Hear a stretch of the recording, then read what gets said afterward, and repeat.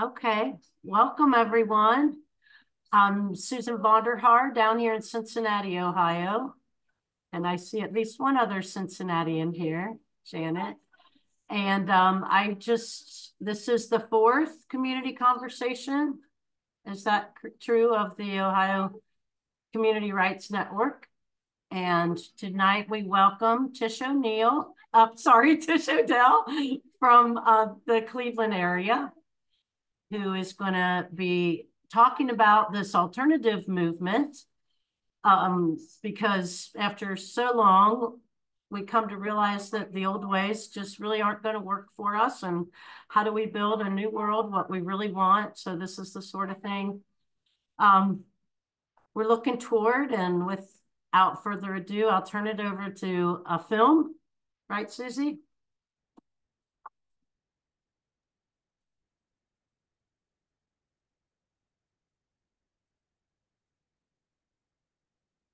Unfortunately, I don't know what the film is, or I would introduce it. I'm sorry.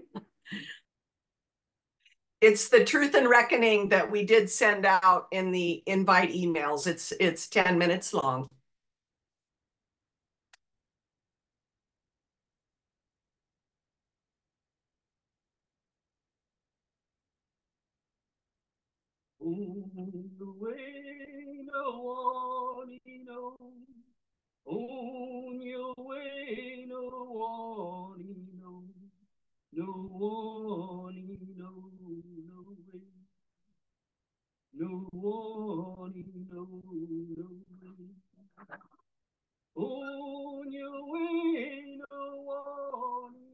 For several years, MOCA's been working with internationally known and recognized artist Andrea Bowers, Tish uh, from CELDF, and various partners to develop a multimedia project called Exist, Flourish, and Evolve that asks us to consider how we can better protect and support Lake Erie.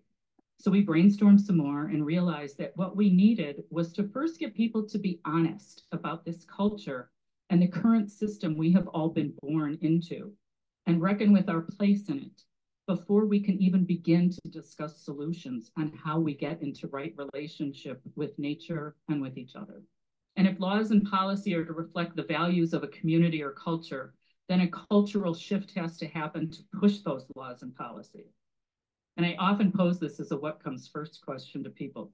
Do the laws change culture or does culture change the law? It is incredible to me that in recent decades, it was even possible to pollute such a large body of water to the point that we could not swim in it or drink it, and that the life within was threatened by our actions, and more importantly, by our inactions.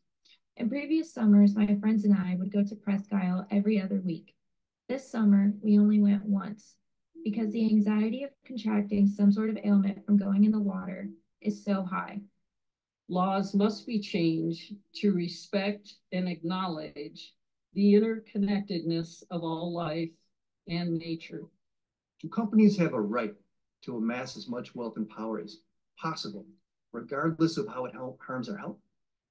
Do they have rights to all the land, water, and air of Mother Earth? Do they have the right to destroy it to the extent that we can no longer survive in our common home? Do we blindly follow unregulated capitalism to such an extreme that we sit by idly and watch it cause our own extinction? We must answer each of these questions with a resounding no, given that human rights and the rights of nature are far more important than the alleged rights of destructive, self-serving corporations. I just could not get over how uncompromising like the testimonies and opinions of people were on this subject of the rights of Lake Erie. I was really happy to see like I said, just the uncompromising restatement that the, the lake needs to be saved. And the lake is really just a microcosm of the planet. I don't, I honestly think that um,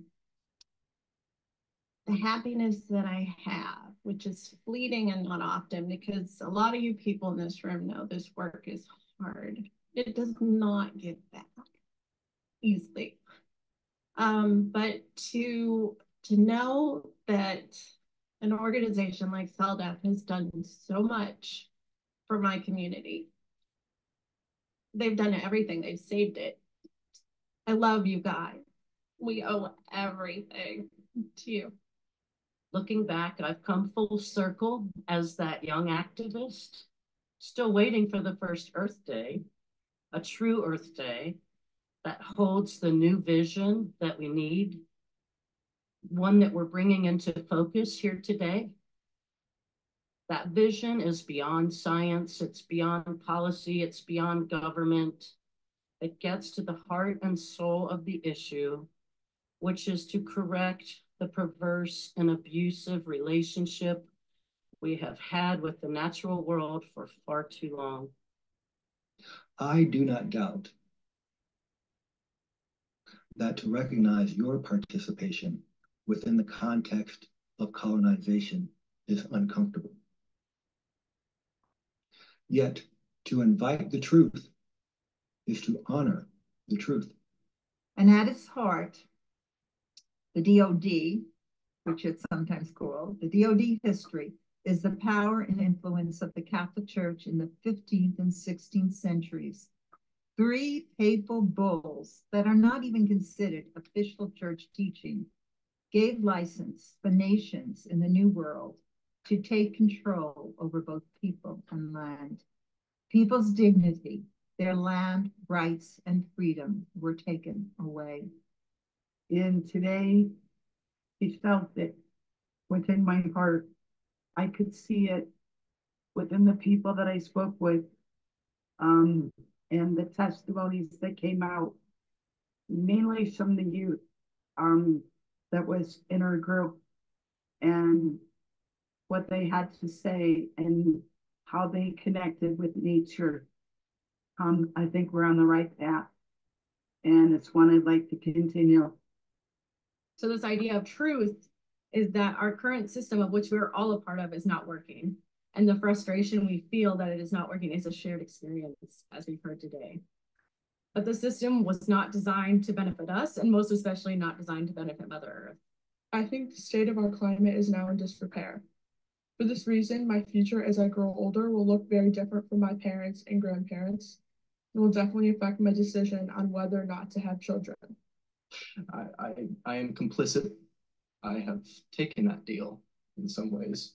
Um, and however much I devote myself to a cause or to a creed or to community action, I'm guilty and I feel guilty. Can we admit that it is the diseases of greed, colonial capitalism, self-centeredness, intolerance, arrogance, and supremacist thinking, among many other things, that have put humankind and all of our relatives, all other living beings we share this time and space with, at risk of not only death, but extinction in this space? Biophilia means the love of life, of all life. Law must protect seagulls and summer rain, blue herons and bluegill, bugs, butterflies, and songbirds, rivers, forests, grasslands, the Great Lakes, and all the human children who depend on them. Anything less is simply suicidal.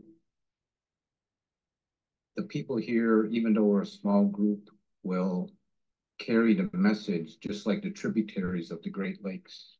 And that this message, you know, will get out there and we can do this. I really want to emphasize that we're here to to see this out with our with our heart. And that's what's going to win out in the end. CELDF managed to contact people from not only all over the Great Lakes, but from fields that were outside of what you would think of as a traditional realm of ecology and environmentalism. And so it's kind of just served as a reminder of uh, uh, how many people are really invested in doing what the no needs to happen. MOCA is working with Andrea Bowers and CELDF on a project intended to bring awareness and action to the challenges facing Lake Erie. This is an earlier work by Andrea call, uh, focused on the rights of nature, and gives a sense of Andrea's neon artwork.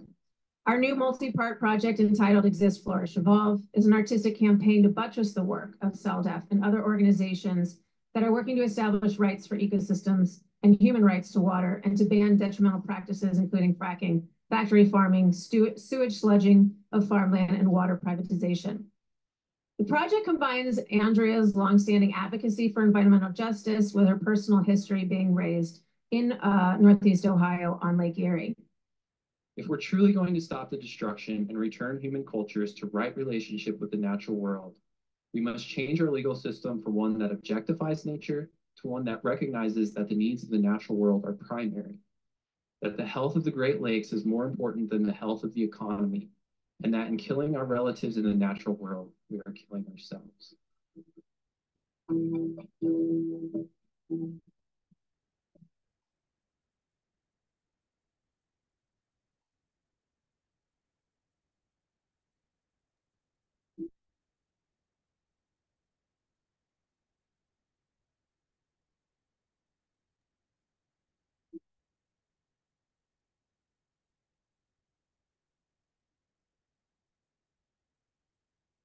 Wow. Thank you. Thanks for showing that. So I haven't watched that in a long time. I forgot how powerful it was. I forgot. Yeah. I can't believe I forgot. but for those of you who aren't aware, um, there's this art show going on. It's only going on if you can't get to Cleveland before Sunday, you won't get to see it. Um, it's closing Sunday, but um, it's what prompted us to do this event. And a lot of you on the call were at part one. Some of you were at part one and part two, which just happened last month. So um, for those of you who haven't, you can watch all the testimonies in full on the YouTube. Um, CELDF YouTube site. There's a playlist for all those. And we're going to start putting out videos hopefully soon from part two, which was the right relationship part of the event. So you'll be able to view all those things. Many of you, you know, tonight know me and you know a lot about my journey and that it started in Rights of Nature way back in 2010 and 2011 when I discovered the urban drilling and fracking happening in my sleepy suburban community of Broadview Heights, Ohio. A lot of you guys on the call I know that are part of Ohio Community Rights Network, you started about that same time. And with every new truth, and I put truth in quotes, right, that I discovered along my journey about our system of law and about our democracy by the people, I didn't call them truths at the time. It was more like a horror show for me. and the more I learned, um, the more it angered me and also, you know, scared me, I guess, like a real horror show when thinking about my son's future and the future in general.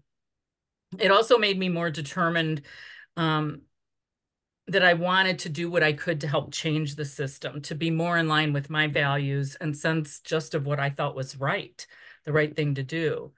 And so, just really quickly, some of the truths I discovered along my path and journey were that one, we live under an illusion of democracy, that the wealthiest among us contributed to candidates in both parties. And so they basically bought our electeds. I remember when I first found that out, I was totally shocked. I looked at like campaign records for Cuyahoga County in Cleveland, and I couldn't believe that these people were giving to both campaigns, both the Democratic candidate and the Republican. That's how naive I was at that time.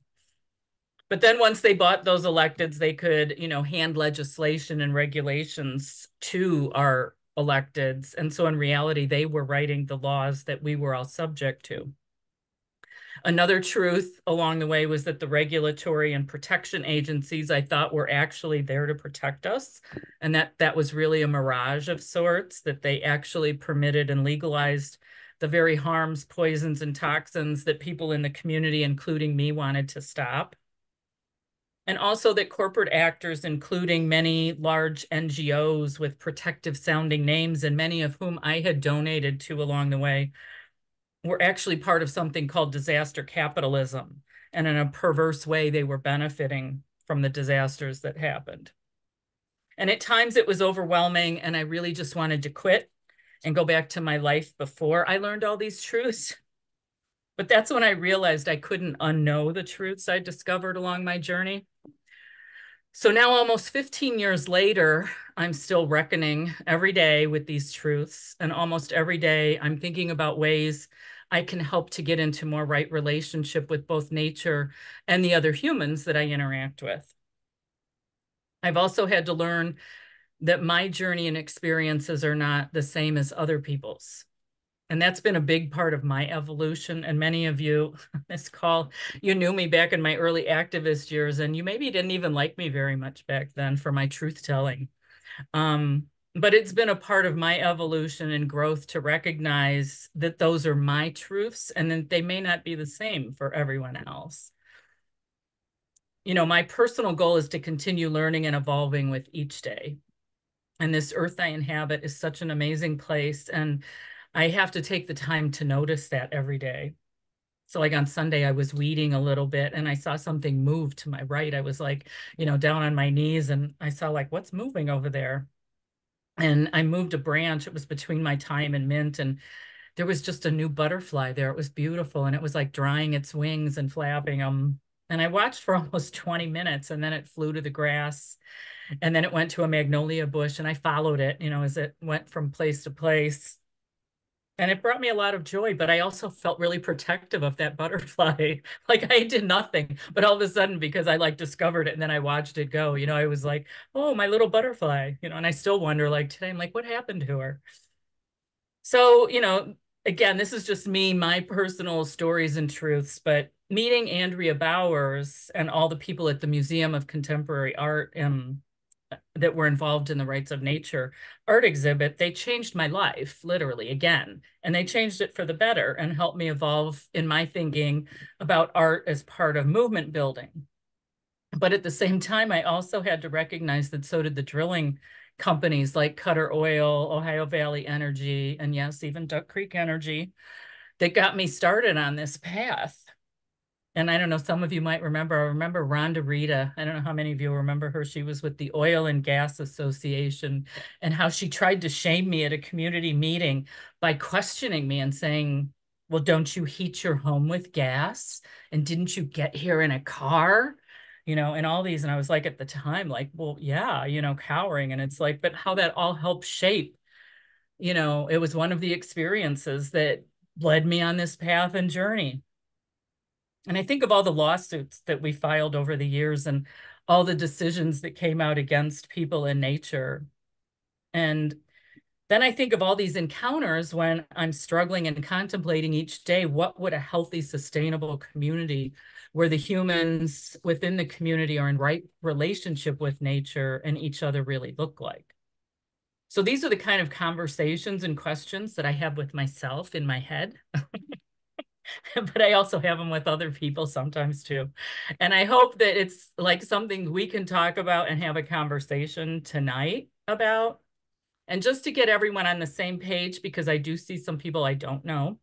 So I thought what I would do is just show a quick, there's a few um, slides I put together um, actually for a presentation that I did on Monday. And I thought we'd start here so that we're all kind of maybe starting at the same place um, just at least for this conversation. I know we're not starting at the same place. Oh, let's see. I forgot how to do this part too. I have to get it full screen. Hold on. Oh, there we go. Oh, now that bar's in my way. Hold on. Okay. From Slideshow. There we go. okay, can y'all see it now? All right. And we'll do that. Okay. So I just felt like, you know, this title, you know, like a truth and reckoning with nature. Isn't it time, Ohio? It's like, oh my gosh, so we've been through so much and we see so much destruction going on here. So I, I really like feel like it is time to have this conversation. So the first thing I just want to like, so maybe we all have a different idea of what rights of nature are. So this is a definition that we put together at CELDF, and I, I really liked it for this because and I highlighted the parts I like. So it means securing the highest legal protection and the highest societal value for nature through the recognition of nature's rights and associated human rights. And I feel like CELDF in the last 25 years, we focus so much on the highest legal protection part of this definition. And now we kind of are pivoting and thinking, you know what, we kind of ignored the highest societal value part because as we know, things wound up in the courts, the legal system, and it was kind of turning it over to them to make the decisions and like they somehow have the authority to decide what's best for all of us. And rights of nature, many of you already know this, but I thought maybe good review. And for people who are new, it's a new legal framework rooted in indigenous knowledge and new scientific understanding of our interconnectedness with nature. Humans are part of nature, not above it. We seek rights in rights of nature seeks responsibility and stewardship, not ownership. Nature has a right to exist, flourish, and thrive in its own right, not dependent on human rights and human economic gains. And that that's a huge one. That's a huge shift. I think that, you know, culturally and in our values, we have to come to terms with. And it also, rights of nature gives legal standing to nature and provides residents living within that ecosystem or watershed with a legal tool to not only hold polluters accountable after the harm, but to object, to the harm before it happens. We're talking about a movement, not a moment. Um, again, that our laws should be a reflection of our values. And when those values change, our laws should change. And so that's, I think, what we have to, you know, think about when we're working on some of this stuff in our communities. Change is born from confrontation and social movements through history have been won over decades, not just one election, one initiative, one moment, but movements take longer. And I know everyone then gets very, um, here's where I get a lot of pushback, you know, but oh, we don't have a lot of time and, you know, we have to move faster and all that. And I, you know, but when we focus on that, what I've realized is when we're in panic mode, we don't necessarily make the best decisions. And so we need to kind of step back from that. And I th think more about the strategy and what our actions are and not be in that panic mode because the other side is never in panic mode. And rights of nature and community rights dismantles injustice from the grassroots up. And then I added this just last week as I said, you know, we really need to be honest and truthful in order to create a movement for change. And I think that's a big problem that we've had too. Um, we start from a different place, a place of the existing system, which already is not the right place probably we should be starting because we're looking at the regulatory system and we're starting from, well, what's the best we can get? And it can't just be about regulating harms and bad behavior. We know that because we're living with the consequences of that kind of a system. It can't just be about econ our economics, right? It has to be about more. Not saying, and again, not saying that we shouldn't consider it at all. That isn't what I'm saying, but that it can't just be about that, which so much of our current system and the laws are all about that and only that.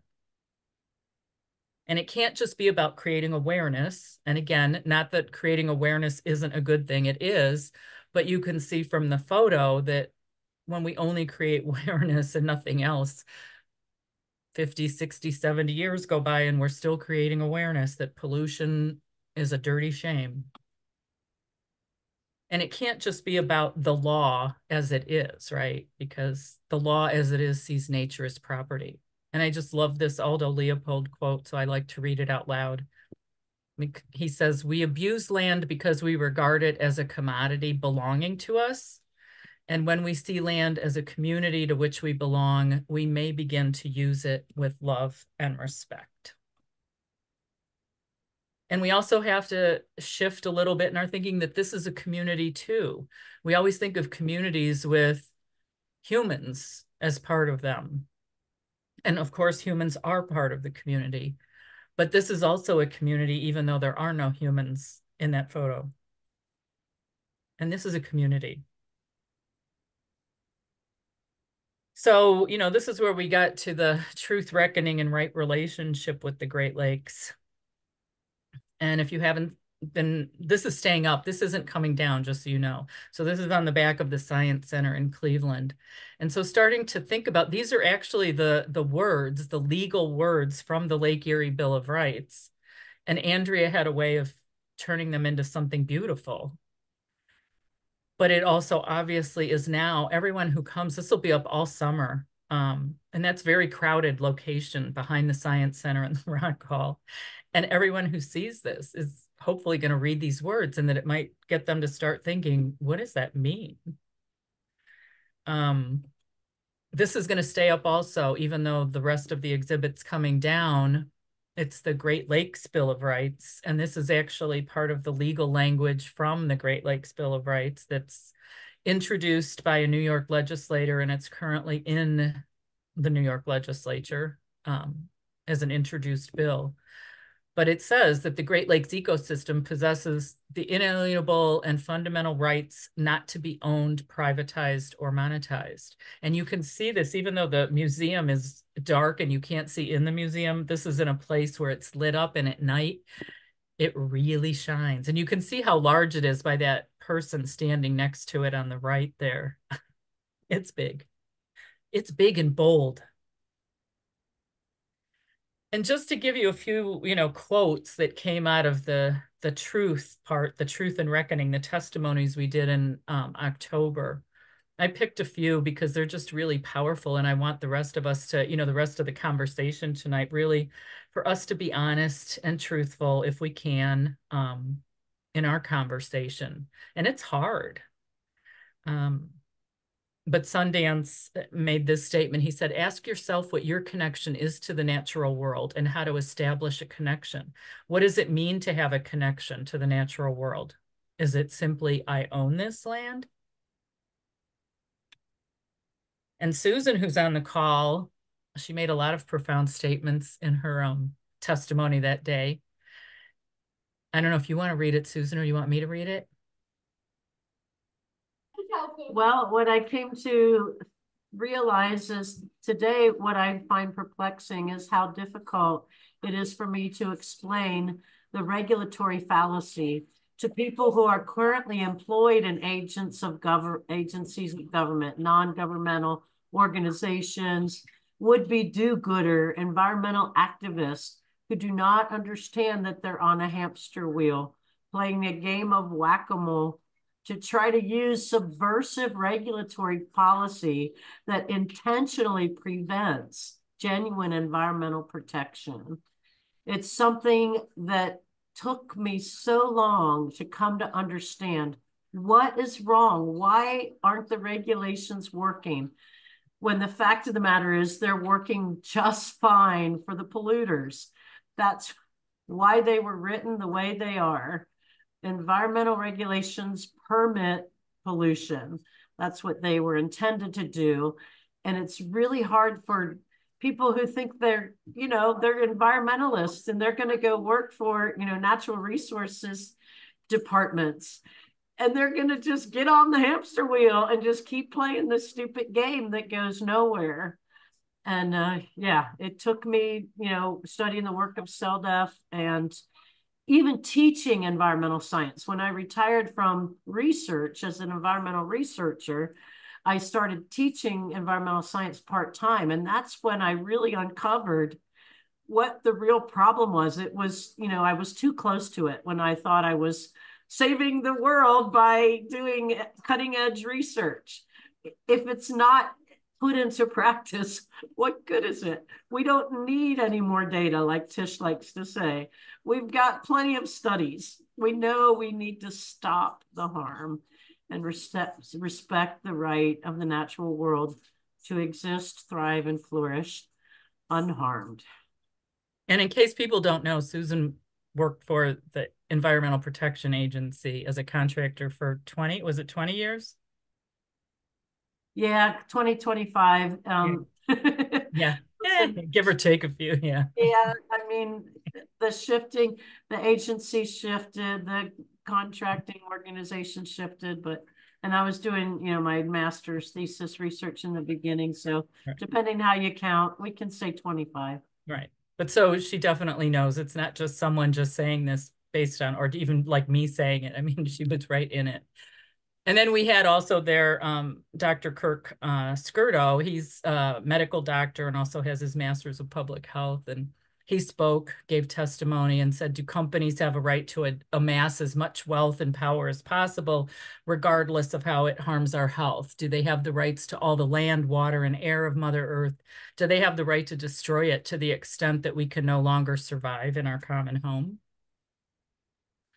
And I don't know, maybe some of you have heard of uh, Zach Bush. He's another medical doctor. And he's involved in a lot of projects, Farmer's Footprint. He's into a lot of tying, obviously, human health with what we're doing to the environment and talking about industrialized ag agriculture. And I thought this was so interesting because he obviously, you know, making connections, right, and putting things together. Well, that how the industrialized agriculture practices used in conventional farming have coincided with the explosion of chronic disease, ecosystem collapse, and biodiversity loss. And then another um, physician, Dr. Rupa Marya, she wrote this great book called Inflamed. She actually is a physician in California she also is involved in a lot of um, social justice activism. She also um, works with regenerative farming. And she's, I think, pretty sure she's internal medicine, but she's in an emergency room, or she was. Um, maybe she switched, but you know, she talks about as the world burns, your body is inflamed, your body is part of a society inflamed, and as a consequence, the planet is inflamed. And I loved the connections that she makes to all of that.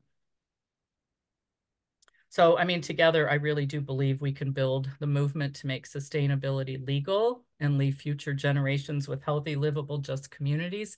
If those are the values that we believe in, it's up to us, right, to make those real.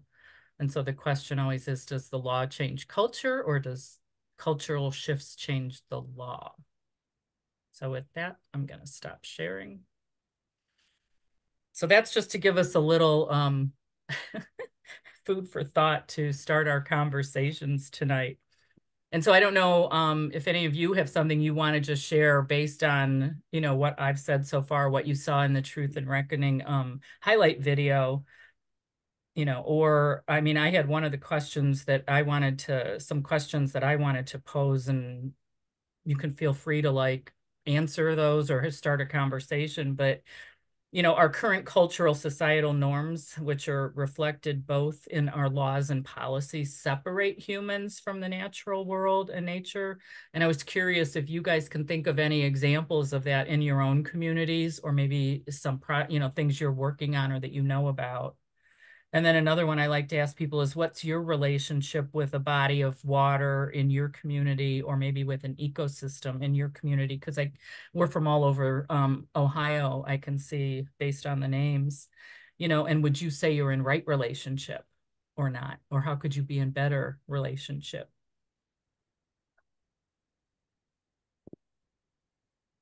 Anyone have any uh, thoughts, comments, questions?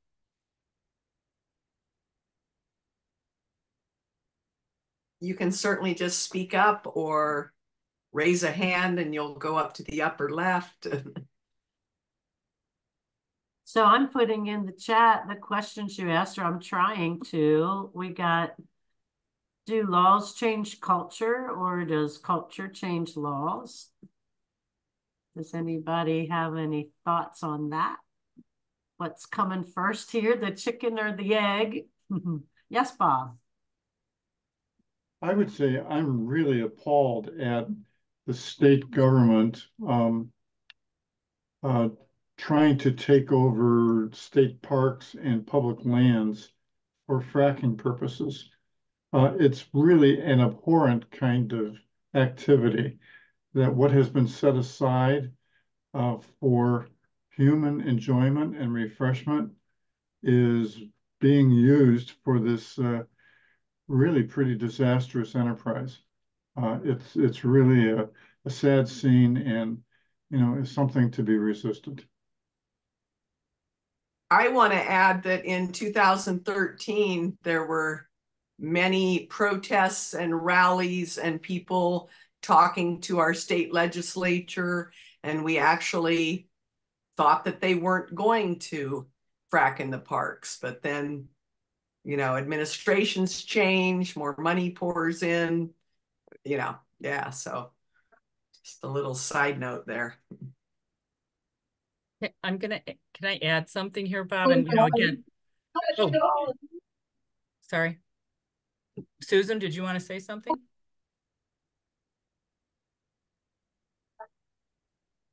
No. Okay. Um, no, Bob, to your, and again, you know, I mean, I'm totally with you. I think it is awful that they want to frack in the park. So that's not, but it just, again, we're all about trying to shift our perspectives, I think. And it's another thing that I've had to try and shift, but this idea of, you know, nature, rights of nature, um, and it's our lack of understanding, I think, about nature and i it's funny this past weekend i had with family members um conversations about this too someone who lives in a location one of my cousins um not in this country and we were talking about food and organic food i think and she made the comment well the country she lives in has much stricter regulations um and protections on their agriculture and so her food is much much cleaner. And i said well it may be cleaner I said, but you understand that if the country next to you is not, has this, doesn't have the same regulations, that nature doesn't recognize these boundaries and borders that you in your head are creating for yourself. It makes you feel good. I mean, it makes me feel good too and a bit safer, right? But it doesn't work that way. So the air that is in the polluted country that's allowing the pollution is still coming your way. And if it rains, it's still coming down on your food. And if there's things being injected underground or put into a stream or a river that is in the polluted country and it comes through your country, it all still affects it. You know, so again, it's in our minds that, you know, this kind of illude these illusions that we have. And so when it comes to the parks, and I can remember way back when in in Broadview Heights talking to Nickie Antonio at the time about it. She was state rep at the time. And I said, if this is too dangerous to do in the parks, isn't it too dangerous to do in my backyard? You know, I like, I didn't quite understand the logic there. And so this idea that, you know, if we stop them and put all this energy into not fracking the park, but we let them frack next to the park out this cre- this weird boundary that we've created right where the park starts and ends. So nature starts in the park but ends outside it that if there's pollution from that fracking outside the park it's going to go into the park anyway and harm it. So you know and a, a, lot of this came about when i started you know thinking about the forest fires right in canada and we're getting air quality alerts here in cleveland. And so trying in our own minds to think about that, that, and so many of us, we believe it because it's what we've been taught for so long that, you know, and I know Sherry, you've had this with the GMO salmon, you know, being raised in a land-based farm in your community, but that they're going to dispose of the waste into the Maumee River and St. Joe's, which could get into Lake Erie. And so then that GMO fish is now in Lake Erie, and it's not going to stop. It doesn't know the boundary from Lake Erie to Lake Ontario, you know, to Niagara River to the St. Lawrence. Um, so yeah, this idea of protection based on false jurisdictions that we create, the fake lines we draw into nature.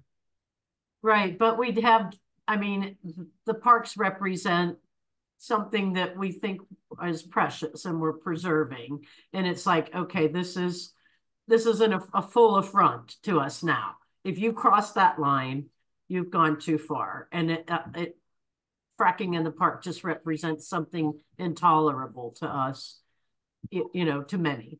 I mean, it's like, to me, it's like, like, why do you get a more severe sentence if you hurt a police officer than if you hurt a regular citizen because we hold the standard and we're trying to hold our parks up to a standard. That's just my spin on it. It, it, says that nothing is holy.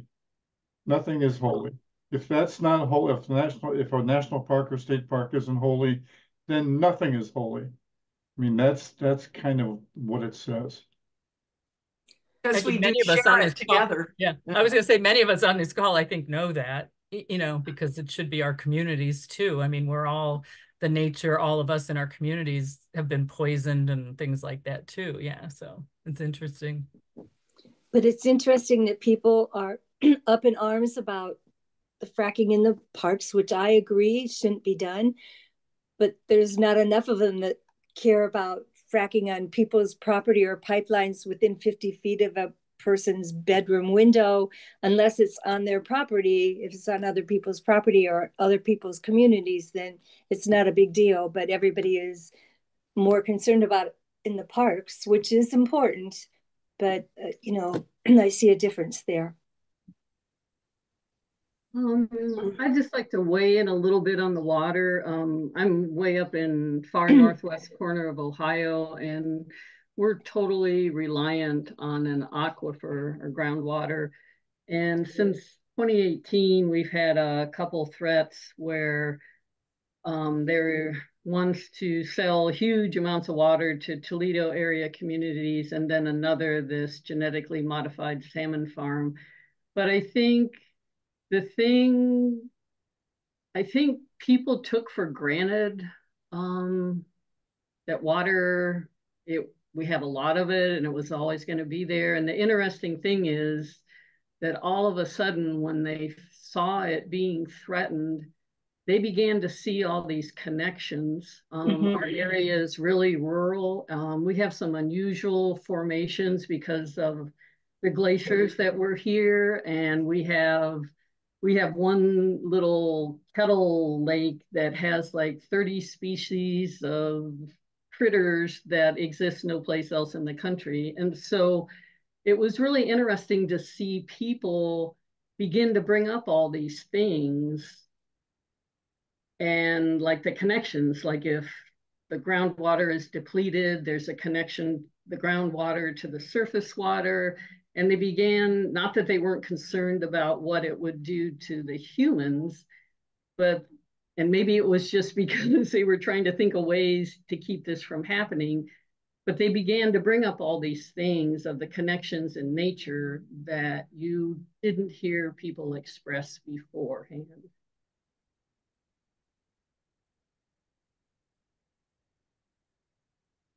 Charlotte.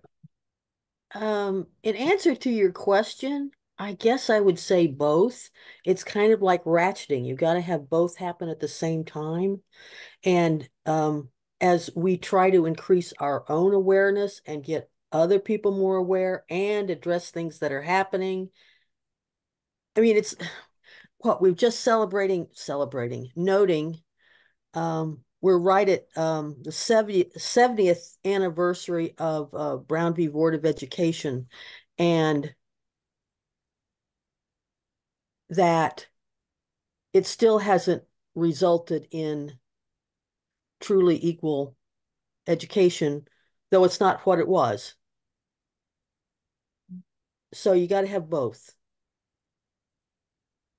And I yeah. think the difficult part too is that even when the people uh, may have this cultural shift that you don't see that expressed in law. I mean, in our case, they created a regulatory program in 2019, shortly after the first attempt to sell the water from the aquifer, and it really didn't contain anything at all that the people were concerned about. Um, and to me, there was, I'm not saying it was the type of shift you would like to see, but there was a shift in people's belief about the water. But it, at least in our case, the law, our legislators didn't respond to the things that people were even expressing. Have, have we ever thought about educating people who are running for state offices um, in the legislature or other offices about these issues and presenting them with some facts that they might be able to use? Who, who wants to take that? I know a lot of you have been involved. I'd like to take that one. we all would like to take that one. We've been there many times. We're a little jaded, Janet. Go ahead, Susan. Well, you know, I find that the elected sure, um, you know, sing a good song, right? They, they sure got the good lip service going on and, uh, I, uh, unless, you know, there are those individuals who actually run, I got a cacophony going on, sorry, you know, who run on a platform like environmental protection. Perhaps, you know, that would be an ear that would, um, would, you know, truly listen. But like Tish said in the beginning, you know, the deep pockets of industry are so prevalent. And if someone has an ambition to be, you know, a, in a political career, they're going to climb that ladder and it's a corporate ladder. Hmm. I, you know, I, I think there's plenty of information. You know, I think it's a cultural shift that has to happen because I think it has to be an intrinsic personal value that, you know, information hasn't gotten us there. You know, we had plenty of information at the US EPA to tell people what the problems were, but it didn't change anything.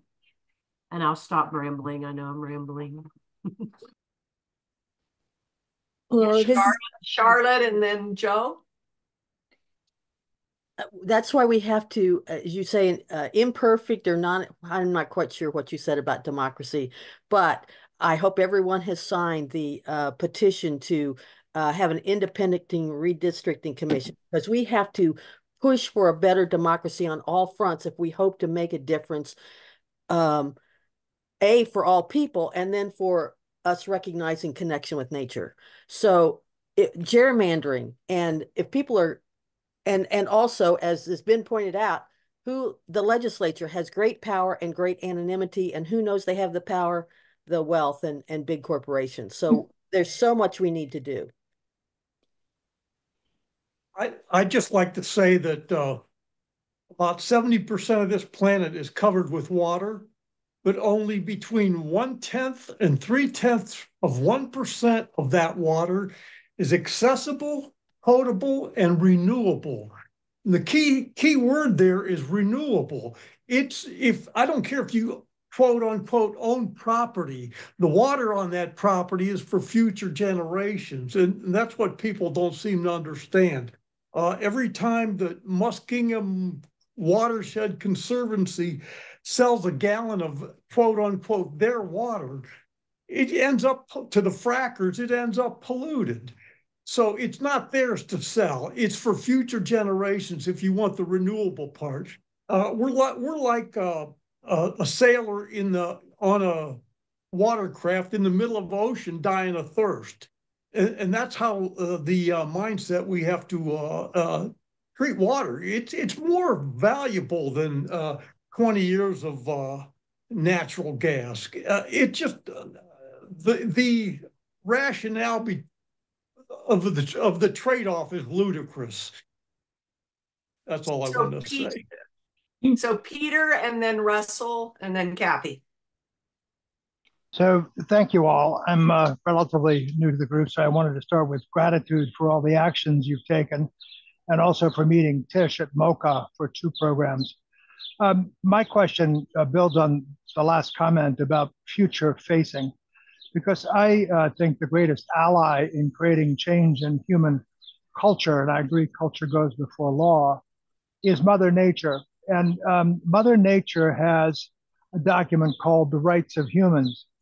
And um, we are um, violating many of the covenants that we have with Mother Nature, and it is going to get worse. So, my future, future forming question is where do we go when the disasters start happening with greater magnitude, whether it's the smoke or the heat this summer we're facing? By the way, I'm from Cleveland. I, I want to commend uh, a book, uh, you know, in my comments with by um, Jonathan Markley um, called The Deluge. Uh, the Deluge is a 900 page sci-fi novel that basically answers in his mind the question I just asked. What happens when politics, science, ecologies get worse? And I will end by saying that it's so bad that they make the capital of the United States Cleveland. And I, I, I that sounds like a, a, a demeaning comment for Cleveland. I didn't mean that. But obviously, we in Ohio are in a, an interesting position in terms of the, the weather and the geology. and um, what's going to happen? What are the actions are we going to take when Mother Nature sends us further signals that her rights need to be um, to be more recognized when the disasters increase in intensity? That's what I think we have to be prepared for. Thank you. I just want to, eh, I agree with that's what kind of like the direction we're kind of, it's again that idea of creating the sustainable communities that we envision and that we know we're going to need, right? And it's like not waiting for permission to do it and not, you know, or asking permission, I guess, to do it. Like, how are we going to start turning away from the system and to what you're saying, Peter, create, you know, what we know we need? I mean, we have all this data like that Susan talked about, right? We have all this from years. We have tons and tons of data because they'll spend a ton of money on that. And we know what's happening. We know what's coming. And yet we're asking permission of the very people that are like, like, when are we just going to start doing it and creating it? I think who is next? Yeah, Russell. I didn't want to discourage Russell. Janet. I'm Oh. sorry. I'm sorry. I didn't want to discourage Janet from, yeah, we should educate our leaders, you bet. But when the people lead, the leaders follow, and that's history. You know, this is a social justice movement. Absolutely.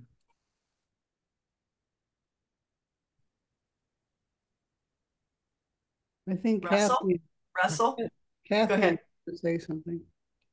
Uh, Russell, it- Russell's next and then Kathy. I, I'm keeping a, keeping the stack. And then Gwen, Gwen's next after that. then. Okay, great.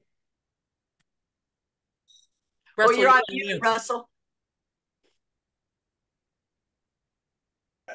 How about now? You're Yep. good. Okay. Um, all right. Um, yeah, I, I agree. I'm on board. What, what can I do? What can, what can individuals do to do what we're talking about? I think a lot of that's going to depend on in your own community and each community is different. And so, you know, it's really funny what we started talking about is how good they are dividing us. So this divide and conquer stuff, like whether it's with, you know, electoral stuff in politics or issues, whereas instead of like finding people who are like-minded who want to create like a positive, better community instead of so you'll find that you have more in common. So say it just uses an example. I'm not saying for your community it's that, but say it's water, right? Like healthy, clean water. Like where's it coming from? Like what we all want. Nobody wants their kids to be poisoned. Nobody wants to be poisoned themselves. This tying the connection between health, our health, and you know, say the water's health, um, and maybe starting some conversations in your community, which because you're not, you're this is the right relationship part, right? You have to be able to have relationships with people and trust before you can start actually making some of these changes that we're talking about and even taking risks, right? To butt up against the system. So, you know, that's what I would suggest starting with. And it can start with, most of us started with two people, three people, you know, so that's the thing. And they teach us that that's not doing anything, that unless we have, you know, a hundred people, a million people in the street, we're not doing anything. But I don't believe that anymore.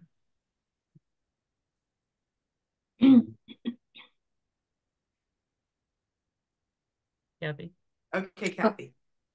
Okay, um, you can't see me because I was out getting signatures all day today and I'm, I'm a mess. So that's why you can't see me. But um, to the lady that said, um, have we educated our legislators who make the laws?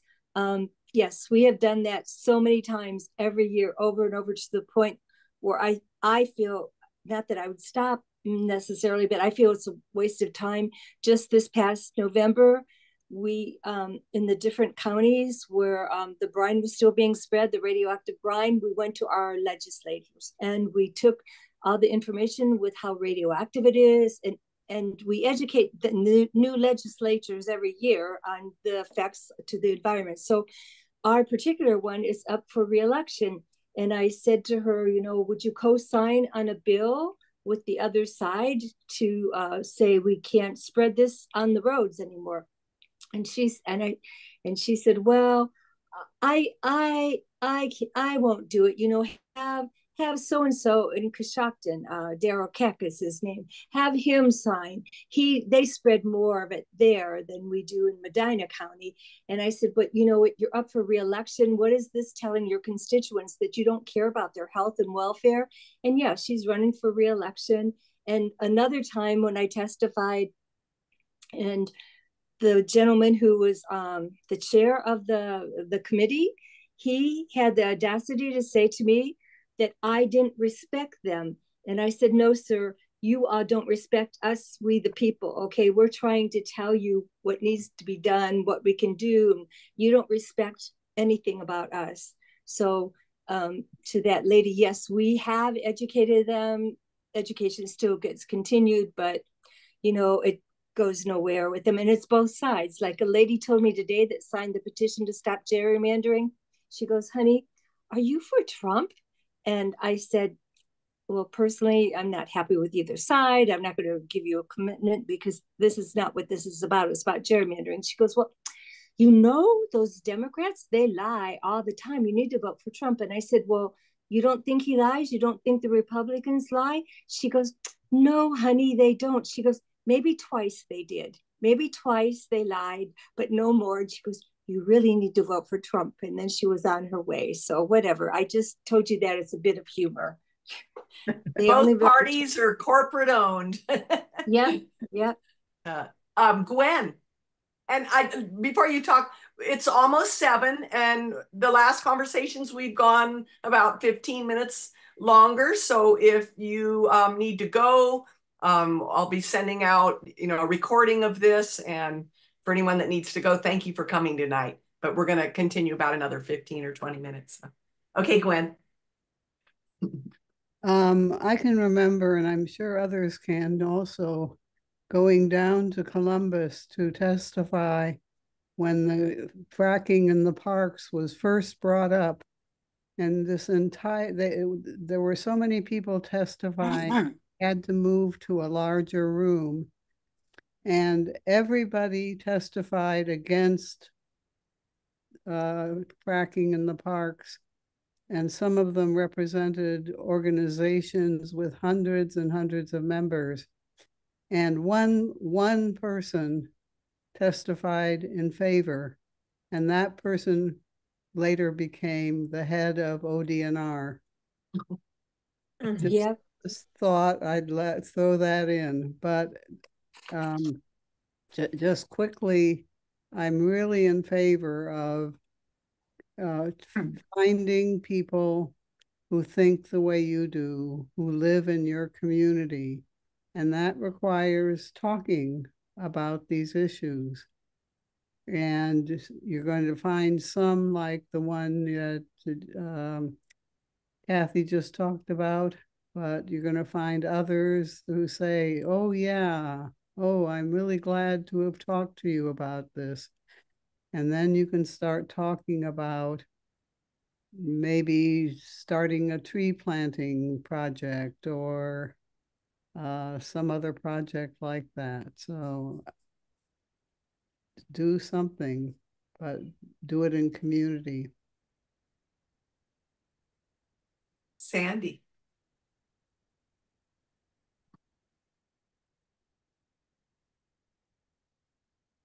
You're on mute. Can you hear me now? Yes. Okay. I just like to go back to what Peter was saying with the del deluge in 900 page. Personally, I'm not going to read that if it's got a bad ending. And I, I I've read from other like the Yes magazine how important it is to really envision what we want for the future ah. instead of focusing on the negative. Let's let's come up with the stories. What do we want? And you know and focus on the the successes we have and put it in a way that eh, you know try to create a more positive culture instead of focusing on all this is doom and gloom. I think we need to focus on the successes. And i love what you were saying gwen and i am going to start doing that in my community. I'm really concerned about all the industrialized farming. I'm hoping i didn't get poisoned yesterday because the farmer was out there spraying and didn't see me. And so I, I was out there being exposed to who knows what. And I am going to contact the others in the area that are organic and see what we can do to expand. that in our, our township and maybe the county. So thank you for inspiring me, Gwen. But I think we need to focus on what we, the positives, you know, and a positive vision for the future. Like that sign, that Lake Erie sign. Well, I don't know. Peter didn't say it. It had a bad ending. He just was, I don't know, did he? And I don't hmm. want him to spoil the ending because in case people who do want to read it, but it's like being prepared for what and how you're going to survive for things that, I mean, I think we're already witnessing. We're in the middle. It's Yeah. not like it's coming anymore. It's like, you know, things are happening. Climate is changing things. So it's like, yeah, how are we going to? And I think strong community. So I think it's both of you. I think Sandy too, that same thing, right? That it's building that strong sustainable type community because then we can be resilient against some of these things because we'll have a, a base, a strong, you know, community to rely on each other.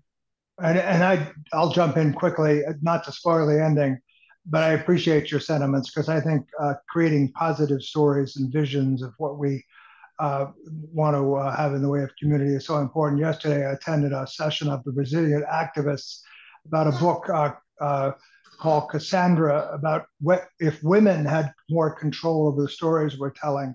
So I'll throw in a little controversy by saying I absolutely agree with that. I think we need different kinds of storytellers than the dominant patriarchy. Amen.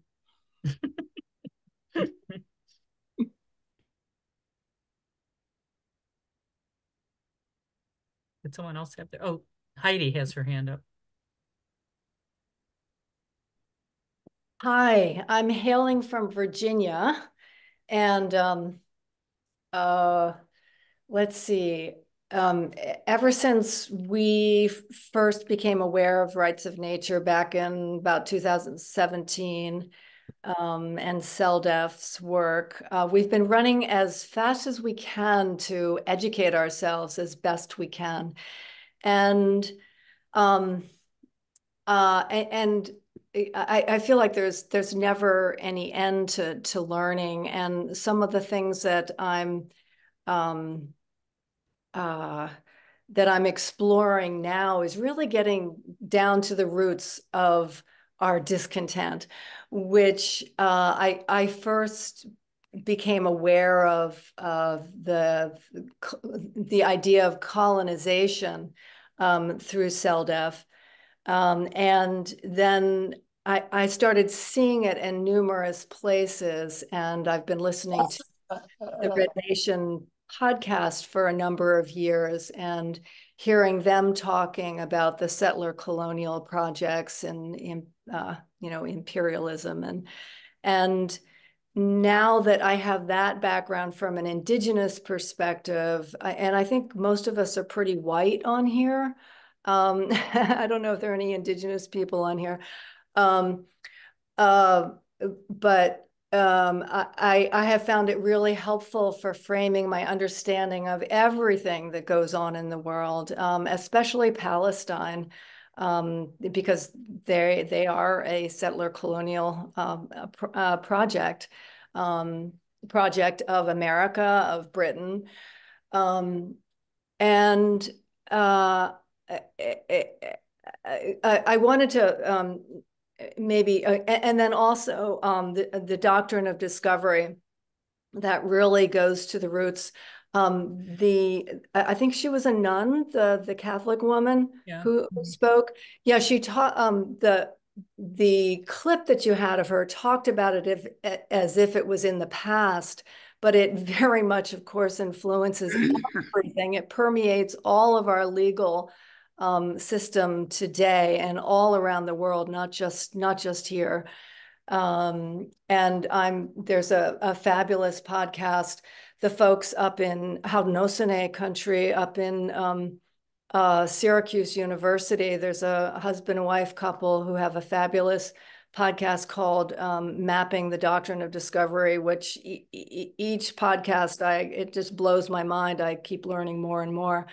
Um, uh, and uh, another um, like little thing that I wanted to say um, is that here in Virginia, we were able to defeat the Atlantic Coast Pipeline.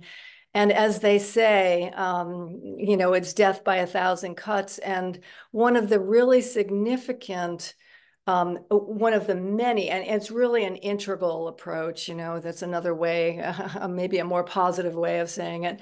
Um, but one of the really positive things that happened, I don't know if you all know uh, Tom Perriello, who started Indivisible. He's from Virginia. He was a congressperson at the time of the pipeline, and he managed to get 16 progressives into Virginia. And it was thanks to those progressives. He got 16 progressives to run for office in Virginia. And thanks to those progressives, they had a huge impact on um, the progress of, of that pipeline. Um, so um, I, I, wouldn't give up on our on on our electeds, uh, but they're not definitely, of course, not not the only way to go, uh, for sure. Um, there's many many approaches. One more thing I want to say because um, uh, we we um, we were able to defeat the Atlantic Coast Pipeline, and then right next on its heels was gold mining, um, and uh, um, and uh, and, and we've been able to resolve that um, somewhat.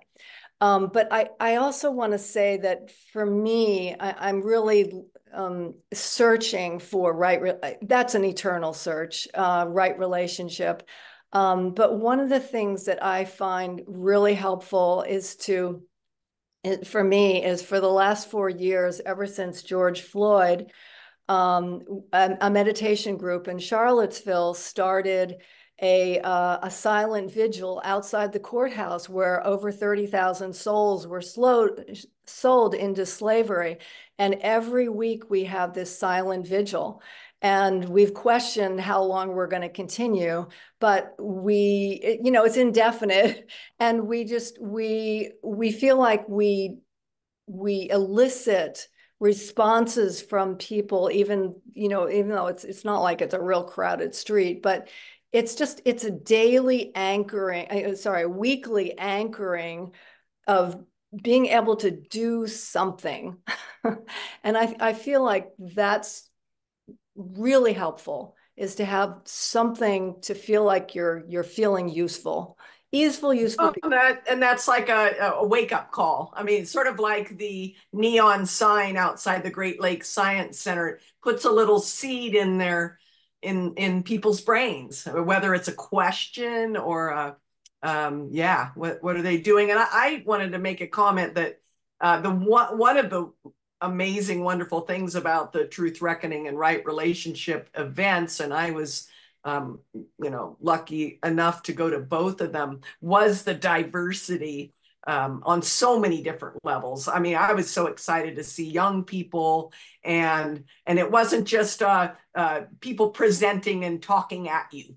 It was it was active. You know, we created these own these communities within the larger uh, thing, and I, I just think it's a wonderful uh, model and um, and I just applaud uh. So. It was it was really interesting. One of the things you reminded me of, Susie, was and, and Russell thinking about you. It was so funny, even like trying to get people to define simple terms that we throw around all the time, like community, like define the word community, and then define like nature nobody could no group could define nature. It was so funny after like all that time in there. But it was such a great everybody had a lot of great conversations. So it's like not even that complicated. And all that stuff helps form relationship with the people in your community so you can then move on to something else. But yeah.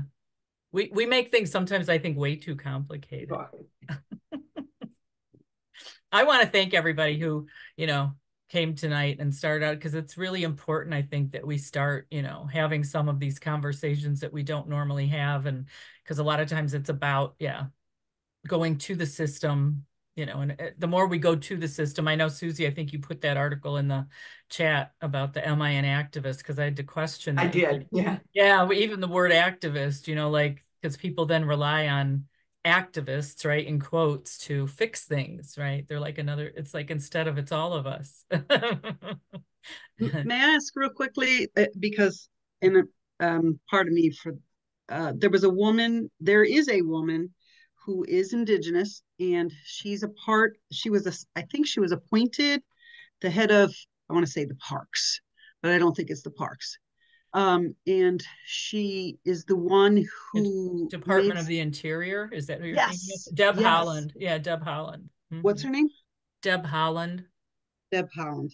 Mhm. And um, she recently put forth um, uh, some some kind of new directive where uh, to to go over again how um, organizations and such can get permits to do things on the lands. But she also opened up um, the ability for uh, permits to be conservatives of the land. Does this sound familiar to anybody?